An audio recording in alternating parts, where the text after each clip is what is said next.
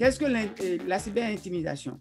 Il dit, la cyber-intimidation, c'est l'Internet, c'est Facebook, c'est Snapchat. Je dis, mais est-ce que c'est ça qu'on vous a appris? Il dit, oui, oui, c'est ça que l'enseignant nous a appris.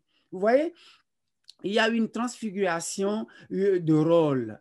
Les enfants sont devenus plus des enseignants que les parents qui devaient les enseigner.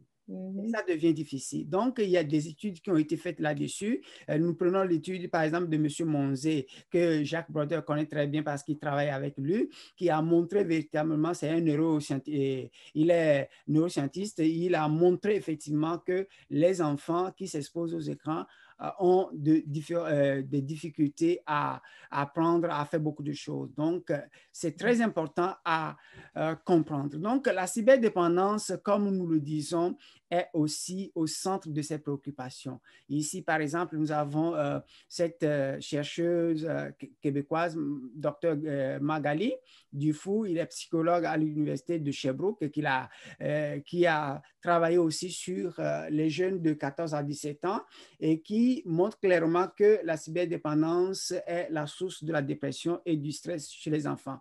Pendant ces moments de COVID, on parle beaucoup de dépression, et, mais les autorités ne vont pas aller chercher la cause réelle de, ces, euh, de, de, la mm. cause de, ces, de cette dépression parce que tout simplement, euh, il y a beaucoup d'enjeux. Si on dit aujourd'hui de ne plus regarder la télévision, de ne plus acheter les gadgets euh, informatiques, mais où est-ce qu'ils vont trouver de l'argent? Mais nous, en tant que parents, nous devons prendre notre responsabilité et euh, nous cultiver pour, dire effectivement que les écrans ont de l'impact sur la vie de nos enfants.